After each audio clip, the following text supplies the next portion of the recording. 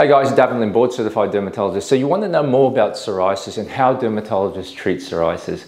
So psoriasis, there are various different treatments, including creams, topicals, you can have phototherapy, light treatment, you can have tablets, and you can have injections. When we treat psoriasis, we base it upon the extent of psoriasis, whether it's involvement, for example, in your scalp, where topicals often do best. They can also involve, for example, facial areas, whether it be sebo psoriasis, in other words, flaky scalp, flaky eyebrows, and a little bit of dermatitis around your um, folds, around your nasolabial folds. Psoriasis frequently affects your joints. In other words, you can have joint disease, but frequently um, patches of psoriasis on your elbows, knees, nape of neck, and other areas. So depending on the area of involvement, the extent, and the impact of psoriasis, your dermatologist will formulate the treatment.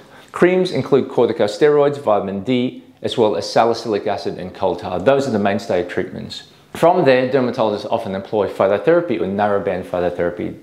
The good side about phototherapy is that it is drug-free way to treat psoriasis. It is very efficient. The downside about it is that you need to come in at least three times a week for optimal results. This treatment is entirely bulk billed through Medicare and hence your dermatologist will advise you that these treatments are at no um, out-of-pocket expenses to patients. From there, they may elect to use tablets, and the tablets we use include uh, vitamin A, but we also use immunosuppressive medication. So that you have to negotiate with your dermatologist, or your dermatologist would advise you accordingly.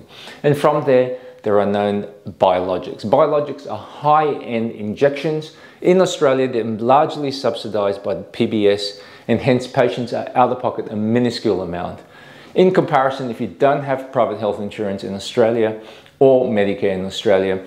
Often these biologics run up between 15 to 25,000 per year.